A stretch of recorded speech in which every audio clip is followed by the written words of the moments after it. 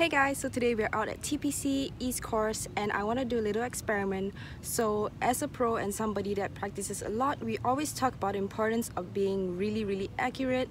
Like you know when we say choose a target, we say choose a small branch or a small leaf. So today I wanted to do something with regards to that and I wanted to play 18 holes without a rangefinder. And as I mentioned, because pros, low handicappers, well, serious golfers in general always focus on accuracy and they always say, you know, oh, you need to be really, really accurate. So I wanted to see how much my feel can actually help me and how accuracy might not be that important all the time. So without a rangefinder, let's see how well I know the distance based on feel, based on experience, and based on my eyes.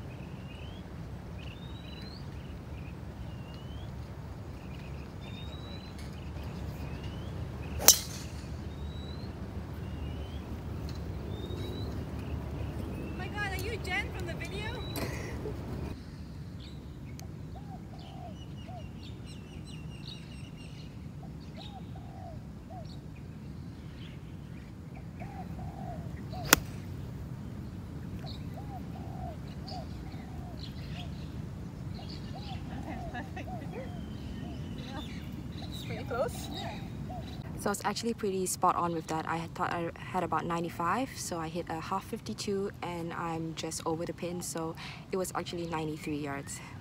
So another thing to note is at TPC they don't actually have those markers. You see like usually they might have a red stick or a white stick or whatever. They don't have any of those here.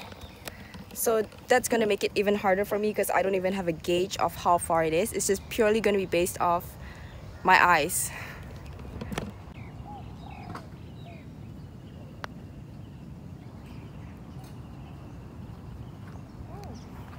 it fast? fast. Yeah? It's rolling?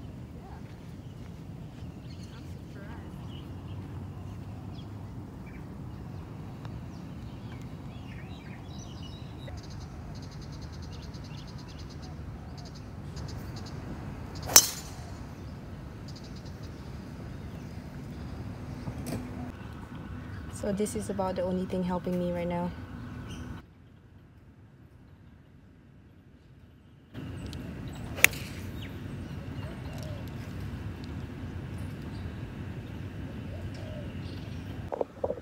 So far this is going a lot better than I thought it was going to. Um, definitely though for holes like this with water in front, I'm so like nervous that I don't have the right club that I'm going to take more club. So that is definitely a tendency that I already noticed.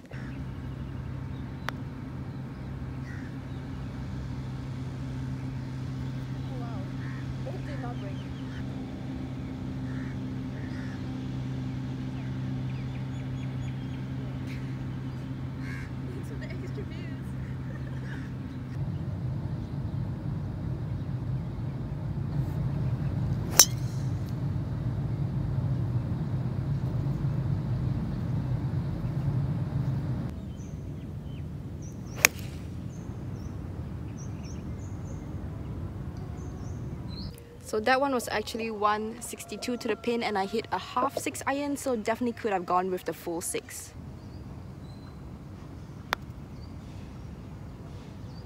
Wow, that was a big win. so far to the left. What a putt. Good save. I'm glad I get to rest. You guys are playing so well.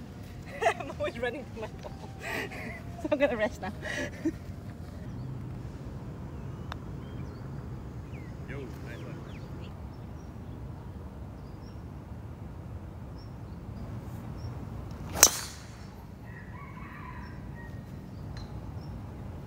So I actually hit driver on that hole because normally I hit a wood to get short of the bunker but then the pin position today is really difficult to access if you don't have a short club in.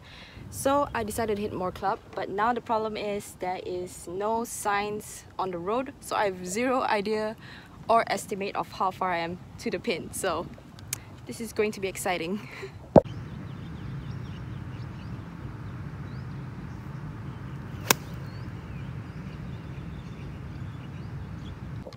Okay, that is an example of when knowing your distance is important.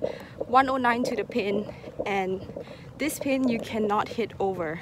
So I literally hit a 52 degree wedge because I thought it was going to be around 100 instead of 109. But I mean, I'm on the green.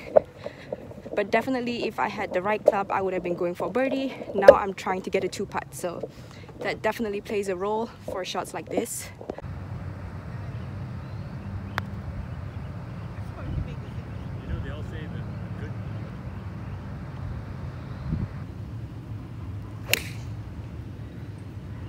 For this par three, it actually worked out better for me not knowing the distance because normally I would know the distance, see that it's a front pin, see that it's it's been raining, it's the air is heavy and I would take more club but instead I just trusted the distance, hit a full shot rather than a half, you know, trying to just make sure that I get it on the green kind of shot and I actually ended up over the pin.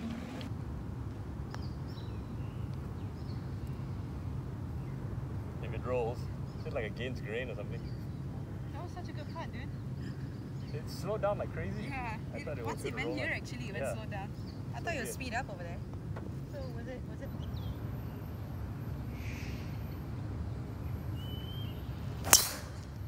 Nice.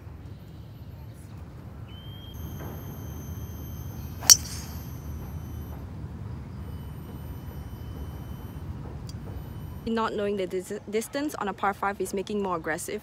Making me more aggressive because I feel like I want to get it as close as possible to the green because I know when I'm chipping, I have pretty good gauge of distance with, in terms of my eyes. But when I'm hitting, obviously it's a little bit harder. So I feel like somehow I'm just hitting three wood for my second shot, which normally I won't, which is kind of nice.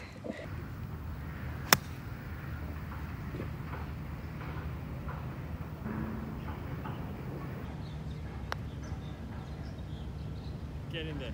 Oh, You were robbed. I think because the pin is like li- lying this way. Yeah. It was in.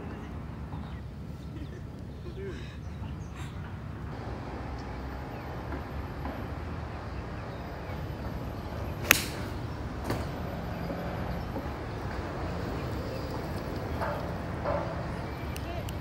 Oh my god, did I go over? You know what this makes me realize too? How much I actually control my clubs. Like I don't actually hit them full all the time. That's why now when I'm when I don't know the dis distance when I'm hitting it full, it's actually going so much further.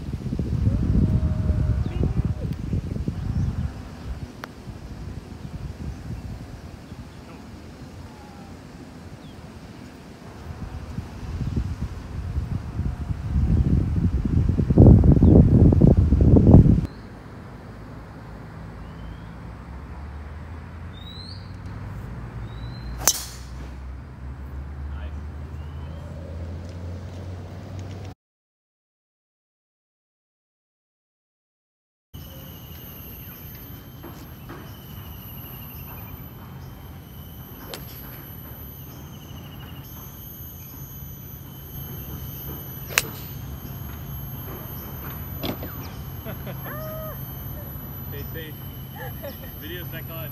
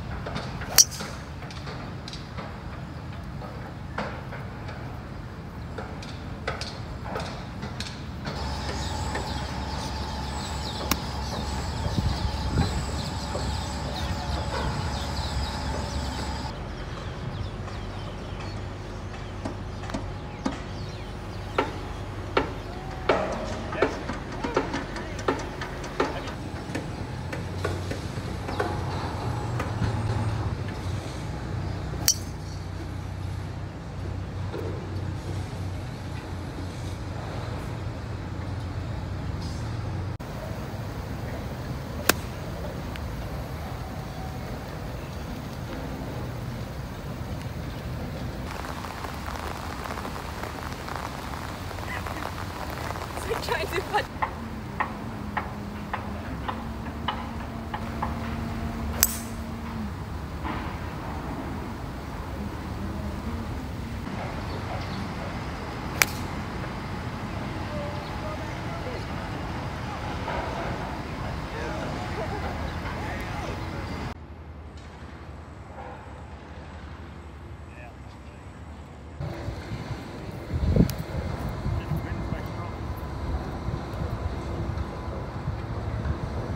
you playing it?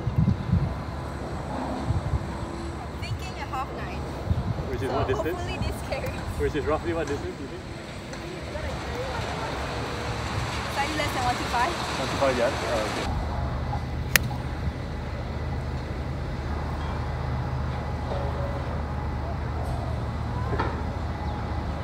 Thank God for the win, man. mine, mine was 117. So actually that was a distance that I got really lucky on. On the scorecard it actually says 119 to the to the center of the green and the pin is in the center. So I thought hitting something 125 yards because 119 is meters would be good.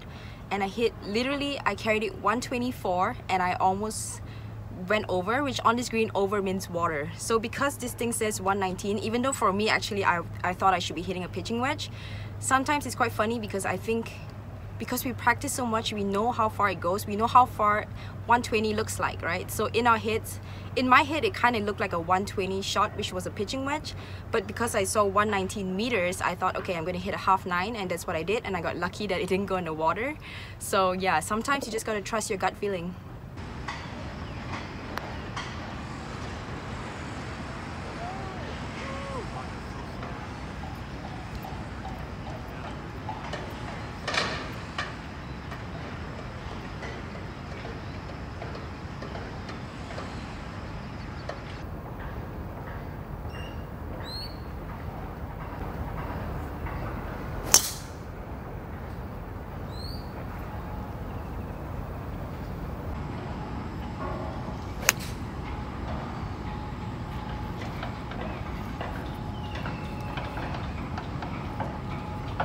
So I, I know I said I've been hitting three wood for my second shot on par 5 just to get it as close as possible but for this hole the whole thing up like close inside 100 yards unless you're going for the green is basically bunker. You have a high chance of being in a bunker than on a fairway. So definitely that that is just not a smart play here. That is just stupid. So still hitting a 5 iron here and hoping that I have a good distance well that I can gauge the distance well enough to get it close enough for birdie. You're doing a really good job guessing though. I'm actually quite impressed. Just like, you know, my eyes actually know some things. yeah. Do you think, it, are you relying on the fact that you have played this course a lot? No, It's just it's like just like looking at it. Yeah.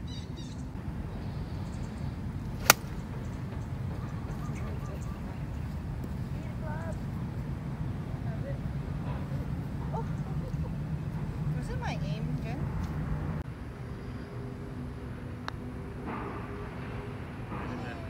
Yeah, good play. You know what to do, Jess. Don't know the distance, don't know if I have the right club, crazy pin position. Go for it.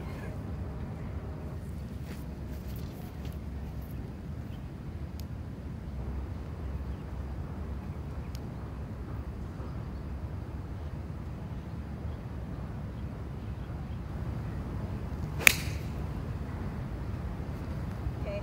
Bloody Bella. Chicken.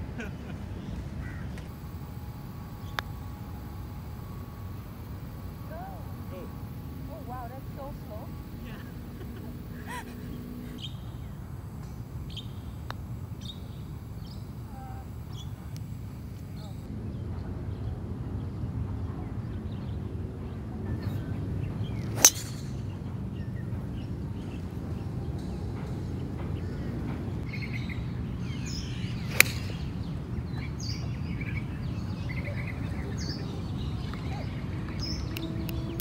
Too long, Jen. I knew it. I knew I took my club. I was like, no, don't take too little. Well, this hole you don't want to take too little either, right? Yeah, shit. Should have hit an 8. Took a seven. yeah.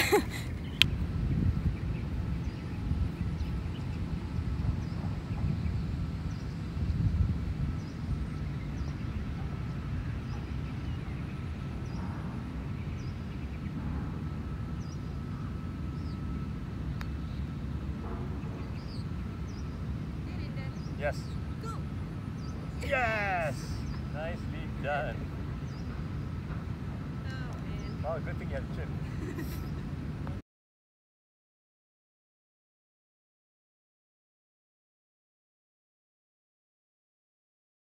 Okay, so takeaways from today. I thought that was quite an interesting experiment. I didn't expect it to be. I didn't think that it would be that good. Like, I didn't think I would be able to judge the distances that well. But I think, number one, obviously, like, I don't want to repeat the fact that I'm a pro, but more about the fact that not only am I pro, but I practice a lot.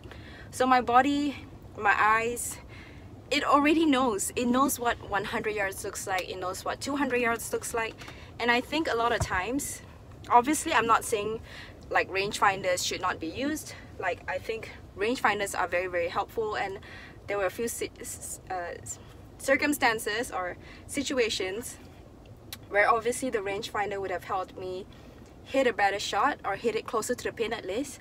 But I think what I really found out is that number one I didn't realize how much my body controls my shots sometimes. So I've actually been asked this question before and it was like you know when you hit half shots what does a half shot actually mean? Am I like hitting a smaller swing? Am I gripping down? What am I doing? And I think a lot of it is actually body control. So it's like if I hit for instance I if I hit my 6 iron um, 160 carry right? And I wanted to hit something that was and it's a front pin and I need to carry it 158 so I definitely want to hit a 6 iron but I want to hit it a little bit softer so what I then do is I tell my body I want to hit my 6 iron 158 yards and obviously that comes with practice. With practice my body knows what it needs to do to hit a 158 yard shot. But I think a lot of it is that sometimes we are so programmed in our mind like I know exactly how far each club is supposed to go that it actually controls my body that I don't hit it as far because I limit myself to that distance so it's like it's not limit but then it's like my my brain already knows that it goes that distance which is quite interesting if you think about it. Because I of course I, I hit well today as well but you know I've been practicing I've been working on some stuff and some stuff kept, have been coming together so I did hit well so there's no denying that. But also that like I felt like I hit longer as well on certain shots like you know obviously I play TPC quite often so I know in certain holes like par 3s what I normally use but even then, today, I hit longer on those par 3s with the same clubs that I normally use. And I think it's because I didn't know the exact distance. So I didn't have a distance in my head. I didn't think okay I need to hit this 180 yards. I didn't know how far I was supposed to hit it. I was just gonna hit that full 5 iron or a half 5 iron or whatever it was. And it actually ended up going further than it than I thought it would which I thought it was quite interesting. So I think you know it's technology is good but we definitely should rely more on our feel. Our body knows so much. We, we can rely on our body and ourselves and our brains and our eyes so much more than we think actually think. So I think it was a great experiment. You know if you guys get the chance definitely try doing that and see how it feels. It honestly feels really uncomfortable because when you stand over the ball sometimes you like doubt yourself. You have no idea how far to hit it right but you really have to trust your shot. So that is the main thing. Like you have to trust whatever iron you're hitting whether you're hitting a half shot a full shot a three quarter shot you have to trust that that is what you're doing and that it's the right thing. And I think it actually helped me trust and commit more to my shots so I think that's a great experiment. If you guys get the chance please do it and let me know what you think. So thanks so much for tuning into the, to today's vlog and I had lots of fun. Um, hope to see you guys next time. Thanks guys. Bye